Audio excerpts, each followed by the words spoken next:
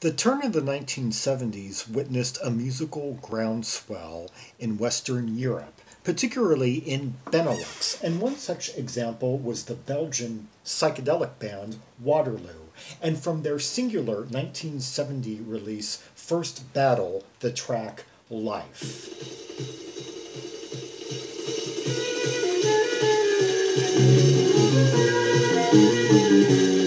Okay, already we have this just uh, flurry of, of cymbals, hi hat, and that flute uh, bringing in a, a very distinct uh, melodic line right away, and that bass uh, kind of doing a circular line.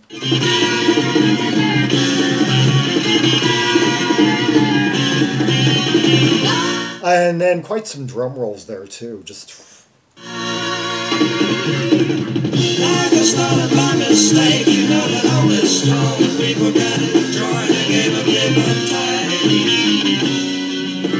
Okay, we got. I, I, I love how we got these this this descending uh, progression, and then uh, with with like breaks at the end of uh, of every figure at the, at the figure of eight, and then uh, like that really thick, kind of soupy psych organ sound, uh, just filling out the space. Life is going here and there, it doesn't matter. We're still living on this world, still got it.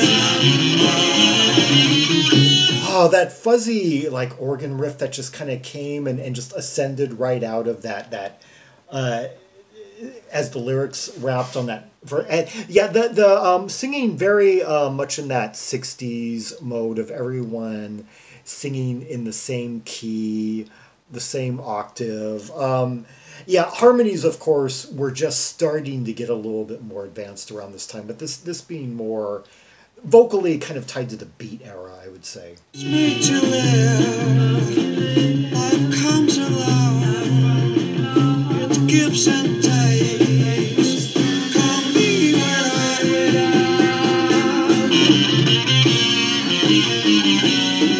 Okay, uh, that that's quite a, a, a fuzz sound that comes in there. I guess on guitar, although it almost sounds like it could be organ, but we we've got the real like icy organ sound that's coming out of my right speaker, and um, I would say ultimately the the two most dominant sounds really are, are from the rhythm section. The bass really thick full, circular at all times, playing really distinct notes that stand out. The drumming just constantly pile driving, whether it be rolls or cymbals, and and the organ just filling things out with that kind of like frosty, thick sound, and and then and then the guitar just kind of coming in at odd intervals with that fuzz tinge. has become a shame for those who honest with the neighbors cause there ain't no will of understanding. Oh, that's a quite quite. A, I, I like that key. Whatever they, they land in right there. there. There was kind of like a dull note in it. Life is spilling butter, revolution, so it's hard to be the one who knows to live between the. Uh, that's basically going uh, B A G sharp. I, I one of the tracks I did just yesterday had that same kind of progression, those same four notes.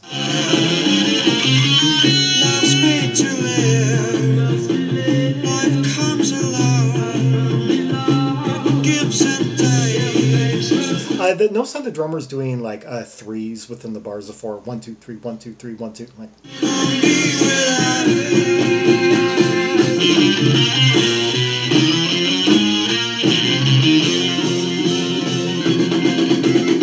Oh, I love those just like kind of like fanfare midsections where dazzling like organ notes and such. Like uh, used in quite a few songs from this year. I mean, I mean, it instantly has me thinking of a passage from the Quatermass album.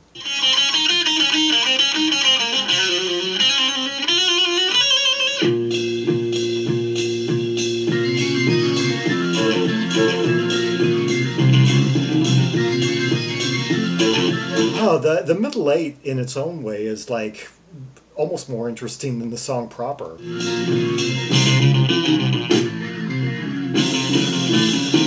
I love that call and response between different. Each instrument, uh, one instrument plays a lick and then goes silent while the other instrument, you know, mirrors the lick.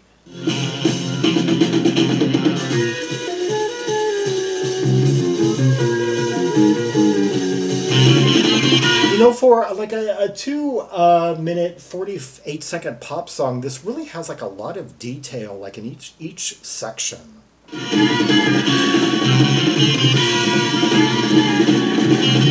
Yeah, notice how uh no no no no no no the call and response between that like the flute and then and then the guitar comes no no no no like that. Mistake, you know strong people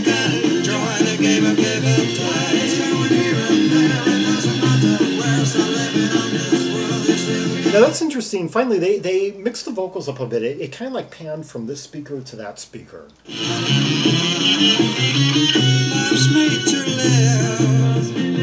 Those kind of uh, sleepy uh, tint to the vocals on uh, on the bridge, kind of um, recalling like uh like Strange Brew. Yeah.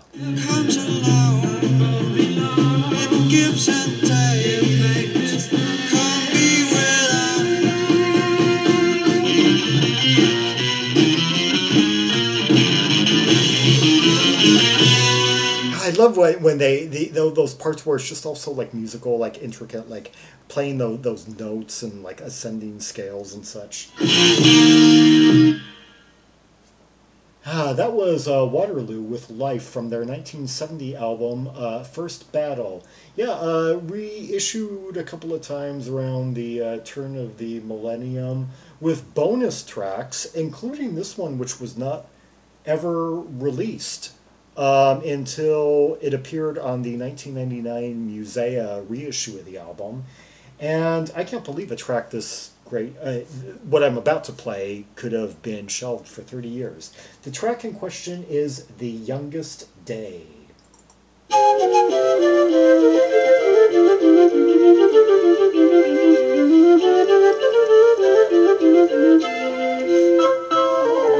Okay, kind of a flute salad to begin with. And some really relatively clean for its time organ right there, kind of interlocking and doubling up on the uh, melody.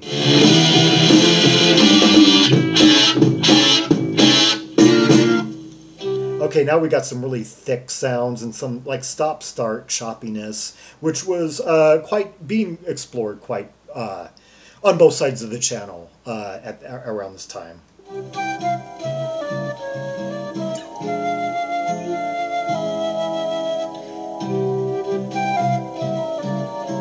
Notice the bossa nova chords right there on the acoustic guitar, dun dun dun dun dun dun dun dun, dun with that major seventh. Staring in the deep dark blue of your mystic sky. Staring at that deep dark blue autumn misty sky, I think he said. Knowing that the end is near for growing. Knowing that the end is near for something and Crowan and I. So soon, so soon, so soon, So soon. so soon.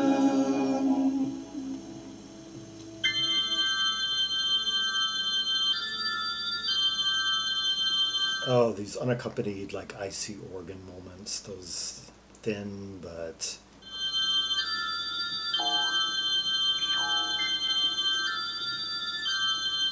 That boing, boing, kind of like a Jaws harp or something. That you know that's something. It, it it has sort of a sense of foreboding, like something's about to happen.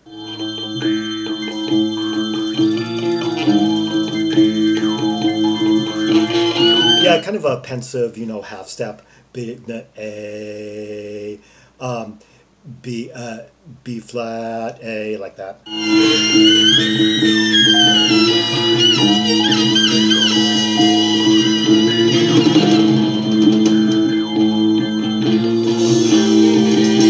Well, some really fractious uh, saxophone uh, interjections there, uh, bringing about a different element to the band. Yeah, uh, I guess this must have been recorded um, right after. It looks like they almost recorded a second album. Circa like 1971 72 with with a few additional members in the lineup. Oh um frank i guess we have a different guy on organ here? Yeah frank uh Wuyts plays on this album. Yeah he was uh, he later collaborated with um with um ex henry cow woodwindist Geoff Leigh who played on legend and he also uh cut um, an album. Oh, he was on the the second Aksak Maboul album. Yeah, yeah, kind of a, a an, an a Belgian avant garde journey guy.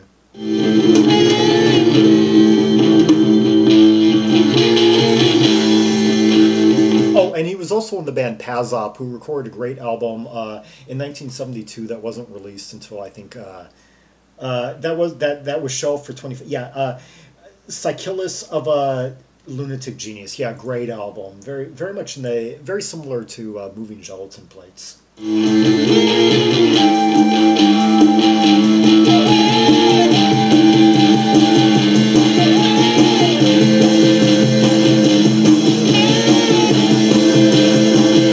Oh, now I'm kind of getting sort of a Mogul thrash type vibe.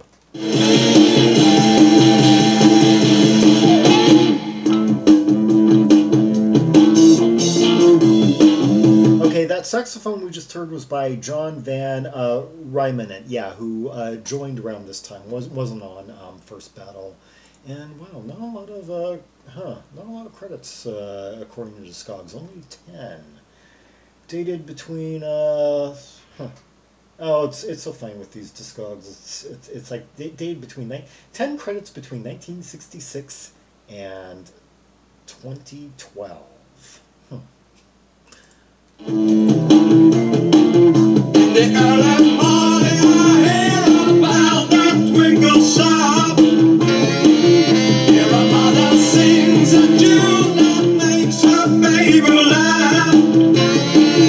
Yeah, kind of like a Colosseum, or like like like like the English uh, brass rock. I'm thinking, or heck, uh, kind of even like Mr. Albert Show.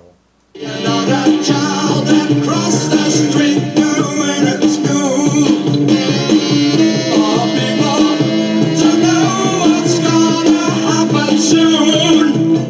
Effect is on those vocals? I know something's being employed.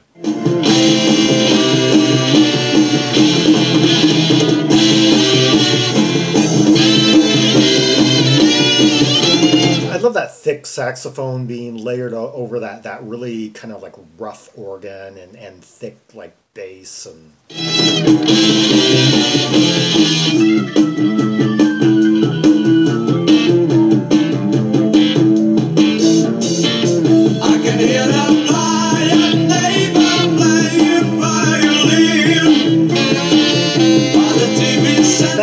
I love that that sax line. No, no. upstairs is snoring Tiny Tim.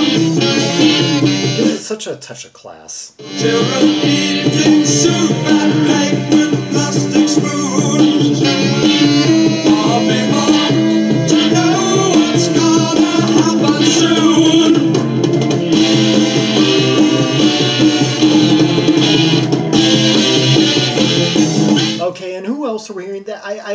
Love whenever the guitarist interjects. I just love the tone that he gives us. It has such like a stinging type type quality to it. He's got uh, Gus Ro- Roan has a whole heaping list of credits uh, extending well beyond like two decades from the time of this album's release. Uh, yeah, and uh, I although nothing quite uh, well, let's just I'll read through it later. Nothing quite uh, no, nothing exactly familiar to me at, uh, on immediate glance.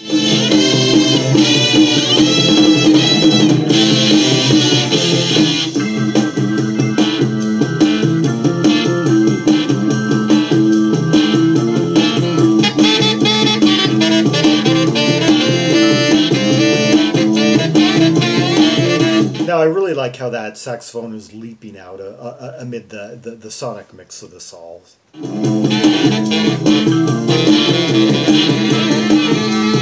That's a really good separation where where the rest of the band is slightly muffled and bassy in this section, and the saxophone is really like crystal clear and crackling and kind of trebly. Makes it stand out more.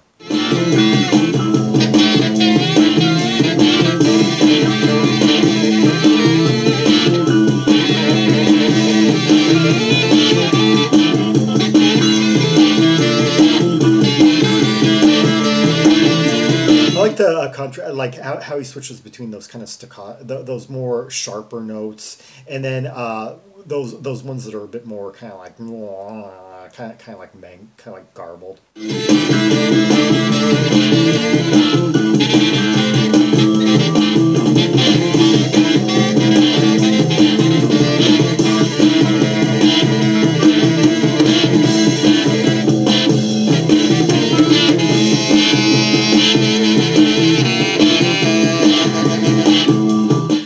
On this track, they, that big throbbing, persistent bass line is given to us by uh, Jean-Paul Musette, who also played on the 1976 Abraxas album uh, with Charles Loos.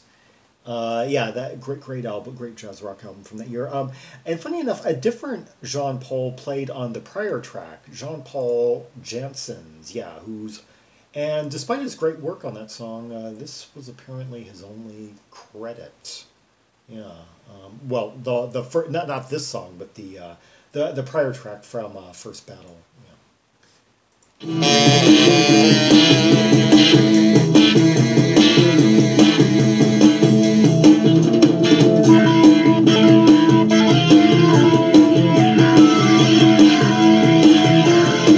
I just love how the organ is just kind of like gurgling kind of has that sort of like a mixture of kind of like Leslie effect and Hammond sound.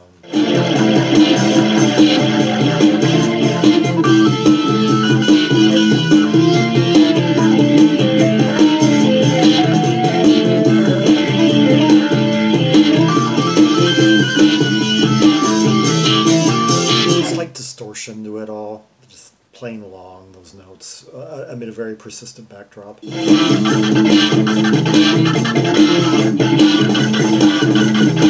now varying it up, like like making it choke, making you know really just mangling it.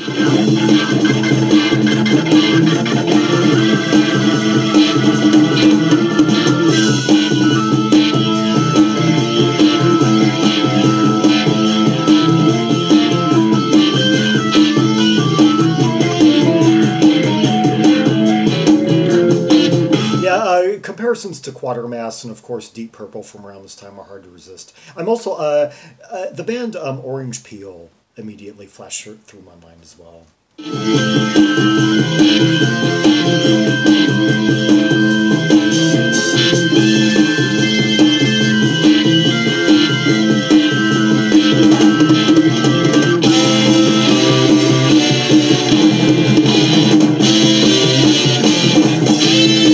How the drumming comes in, starts giving us like four wallops per bar to like um, indicate that uh, okay, we're we're tightening up now. We're coming out of our our solos, guys. You've okay, okay, guys. You know, we're we're pulling together now.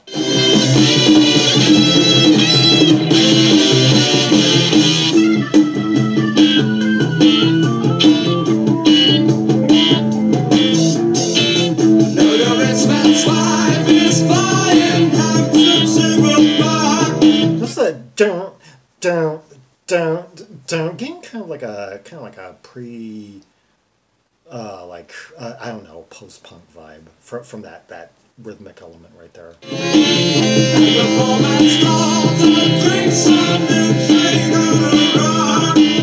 This is just kind of the brash staccato quality of it all. That's that's kind of uncharacteristic of a lot of music of this time period.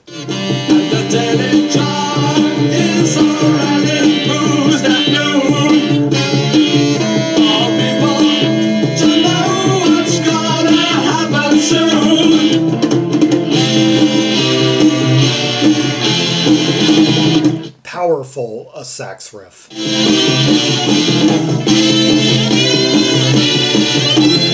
Oh, hear that guitar, hear that fuzzy, like lead sustain notes just interacting with that sax. Paralyzing faith comes in to snatch the world from greed. Yeah, I- mean, don't, don't, I, I'm almost kind of like uh, the police just kind of flashed through my head.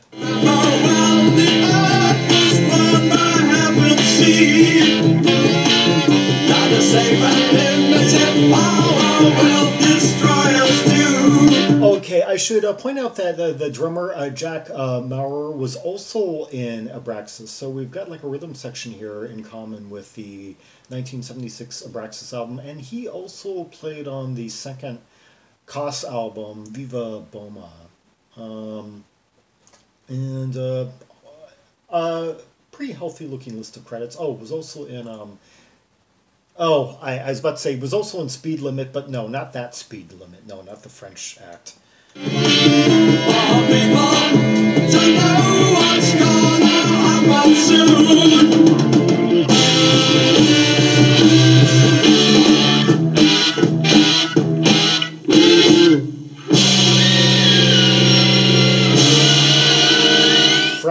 Finale, yeah, and the vocals that have just left the building, courtesy of Dirk uh, Bogaert, who, oh wow, uh, I, I like his resume the best of, of them all. Um, after Waterloo, he was in uh, Pazop, Abraxas, and Cos. Yeah, so he he's a a common he's a common thread through all these great Belgian like uh, psych and jazz rock bands.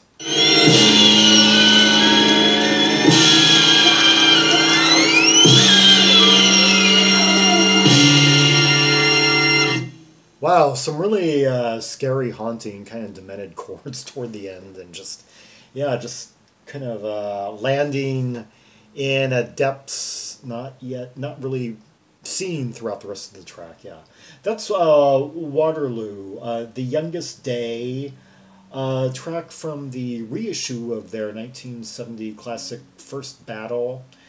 And from the actual album, uh, the track Life before that, yeah. Two different sides of the band. One kind of in sort of real psych rock mode, like 1968, 69 there, kind of uh, crossing the channel maybe with a. And then, and then uh, one track recorded circa like 1971, kind of very much in line with. Uh, uh, like the the brass rock psych sounds like uh, Catapilla could have been another uh, reference point here. Yeah. Um, and anyway, for more rubies and sapphires from the Waterloo album, the uh, pl- album plus, uh, see the directory of albums by Belgian artists linked in the description below for Red Hot Tracks and Purples from a whole load of uh, great Belgian albums from the 1970s and 80s, along with uh, from their uh, northern Benelux neighbor, uh, the Netherlands. Yeah. Like and subscribe, follow me on social media, uh, share the video, and leave a comment if there are any observations you have about the two tracks we just heard the layers, the interplay, the sounds, the thickness, the sonic effects. Yeah, the, the, the feel, the intensity of like the organ, the guitar, the saxophone, the rhythmic component. Um, and the, the lyrics, if you have any observations about them, if you know them better than I was able to catch them in passing. I couldn't find them printed anywhere, yeah. And until next time, this is Zaragon, the world's most air traveled Trimax most, signing off.